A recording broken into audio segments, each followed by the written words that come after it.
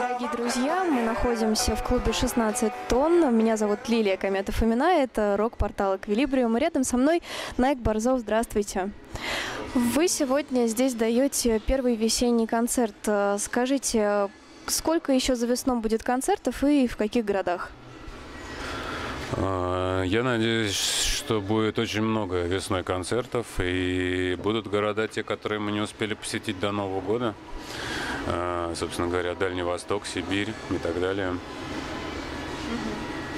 Хорошо, спасибо. Прошлый альбом был у вас э, год назад. Э, Вы говорили, что 23 февраля записали сразу шесть песен. Вот э, в каком сейчас состоянии находится новый материал? Он в работе уже или только подготовка к этому идет?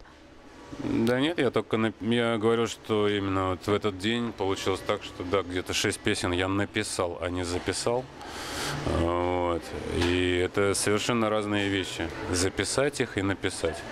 Поэтому, не знаю, подготовка, я думаю об этом альбоме, но я даже не знаю, когда сяду в студию его записывать. Э, Я вот только-только вернулся, честно говоря, прихожу в себя от всех вот этих вот российских э, реалий.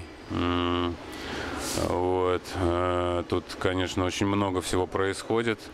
Я так смотрю, не самого приятного. Э, Поэтому посмотрим, в принципе, если все так и будет продолжаться, наверное, э, придется мне пораньше этот альбом выпустить, мой новый, потому что он такой будет все-таки немножечко злой. Вот, не знаю, очень грустно здесь, в России, после приезда из другой страны. Э, Сразу все это прям наваливает, как бы, и это очень неприятно. Поэтому, не знаю, посмотрим, когда альбом и как вот пойдет над ним работа. Может, мне вообще не дадут работать над этим альбомом, понимаете? Сейчас все может прийти к тому, что большая часть э, творческой интеллигенции просто свалит отсюда. Вот, если, ну, если все так и будет развиваться, в кавычках развиваться. Спасибо за честный ответ. Э, Тем не менее, вот у вас будет два акустических альбома. Один должен выйти ну, вот буквально скоро, второй осенью. Не могли бы подробнее рассказать о работе над ними? Э, Знаем, что будет две новые песни, а остальные, возможно, в такой переработке, да? Ну, в общем, да, это тоже из разряда того, что если все-таки мы это запишем здесь, э, вот, то, конечно же, это выйдет. Это, да, будет двойной альбом. Акустически большая часть песен будет переписана из старых пластинок, из ранних, ну, из всех, вот из, сколько у меня их там, семь или восемь, не помню. А, И две новые песни совершенно, которые войдут в этот альбом. Сейчас мы уже записали большую часть материала и, в принципе, э, я думаю, продолжу э, сейчас работать над этим релизом, ну, вернее, над этим альбомом. И, надеюсь, весной уже что-то выйдет. Э, Расскажите немного подробнее о своей роли Курта Кобейна в спектакле Юлия, э, Юрия Грымова. Э, Как вам было вообще, в принципе, тяжело ли вживаться в эту роль? Как поступило предложение? Долго ли думали? И за все это время поступали ли еще предложения принять участие в каких-то постановках или, возможно, в кино сняться?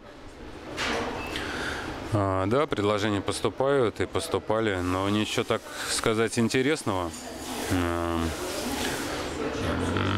Все какие-то, знаете, музыканты-алкаши, или просто алкаши, или какие-нибудь. Ну, ну, неинтересно мне это исполнять. Не хочу этим заниматься, больше даже в театре. А с точки, с точки зрения... Да, мне понравилось играть именно в этом спектакле. Не знаю почему, он был экспериментальный, такой конструктивно-психоделический. И, в принципе, Юра Э, Юрий Грымов, на мой взгляд, очень талантливый и интересный театральный, именно театральный режиссер. Вот. У него очень хорошо получаются вот именно театральные постановки, потому что, я так понимаю, ему это больше нравится, чем кино. Как и многим актерам, которые вот все равно привязаны душой к театру. Спасибо. А, ваша цитата «Музыка меня выбрала сама». Вот вы правильно заметили, что сейчас а, очень трудное время для России, да вообще для всего мира. Люди потеряны, не знают, как бы, что им делать. А вы человек, который все-таки как-то нашли свое предназначение и приняли его. Что бы вы посоветовали сейчас людям, которые не знают, вот куда им двигаться?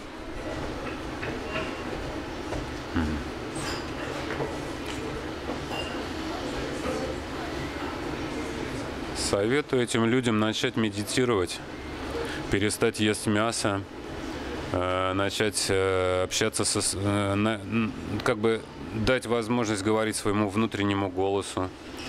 И, в принципе, после этого легче найти свой путь.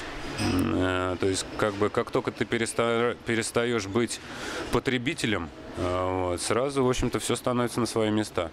Вот. А чем больше ты потребляешь, тем больше у тебя, извиняюсь, засрана карма и аура, и, в общем, и тело. Поэтому это не имеется в виду даже еда, а просто покупки, да чего угодно, наслаждение там, вот. Э, ну и, конечно же, думать своей головой и поменьше рассчитывать на политиков и тех, кто что-то там обещает. Счастье внутри, проще говоря. Если человек этого не чувствует внутри себя, то он так и будет несчастным всю свою жизнь и будет это несчастье распространять вокруг. Все вокруг будут несчастны. Конечно, это все взаимосвязано. Как говорят, начни с себя, мир изменится. Следующий вопрос э, тоже о музыке, довольно непростом времени. В недавнем, в недавнем интервью вы отметили, что рок-музыка не востребована и даже опасна для системы, поскольку э, ну, заставляет задуматься. Как, на ваш взгляд, будет ли вторая волна рок-музыки, какая-то новая веха, как это было в 90-е, там, 2000-е годы? Разве в 90-е 2000-е был какой-то протест рок-музыки? Мне кажется, никакого протеста уже давно нет. Если он и был, то, наверное, только где-нибудь там в первой половине 80-х годов э, максимум там, и все. В конце 70-х.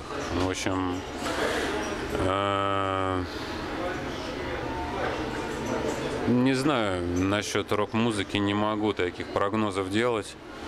Э, посмотрим. Угу. Последний вопрос. Вы долгое время отдыхали за рубежом, хорошо отзываетесь о рок-культуре в Америке, но тем не менее поете на русском языке и рассчитываете на российского слушателя. Э, как вам кажется, музыкант это человек мира или как бы вот э, должен быть все-таки патриотом, а возможно должен как-то соблюдать равновесие между этими двумя понятиями? Музыкант никому ничего не должен, в первую очередь. А, вот художник никому ничего не должен. И поэтому это его личное право выражать или не выражать свою, как ее звать, гражданскую позицию. Или заниматься какими-то а, социальными проектами. Я тоже выражаю свою социальную позицию. У меня вот группа «Инфекция» там была, я вот с ней записал кучу альбомов. Там очень много всякого разного про то, как я отношусь вообще к этой системе и вообще. И, в принципе, у меня и в альбомах очень, ну, так достаточно э, направлений для того, чтобы понять, как я к этому отношусь, ко всему. Вот. Я к этому отношусь как к зомбированию чистой воды и все, больше ни к чему. А о чем мы говорили? О соотношении. А, патриотизм и Америка, да. А, я считаю, что мы, э, ну, у нас такая сложилась, как бы, как мы многие скажут, это сложилась традиция уже такая, как бы, да, в нашей стране, вот в России, до этого в СССР, э, до этого сейчас Российская Федерация, до этого СССР, до этого там что там было, опять Россия, там еще что-то там. Э, у нас такая тенденция, что мы не ценим то, что имеем. Вот. И как только мы это теряем, мы начинаем это ценить.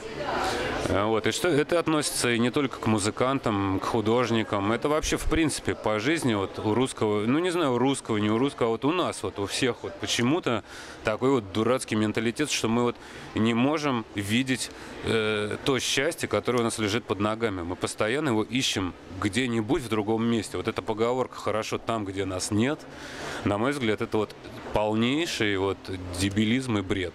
Хоро- Должно быть там, где ты есть. Если ты не можешь сделать хорошо самому себе там, где ты есть, то зачем тебе вообще жить? Ходить и вот так вот отравлять эту землю, что ли? Ну, Спасибо за, опять же, честное интервью и Это все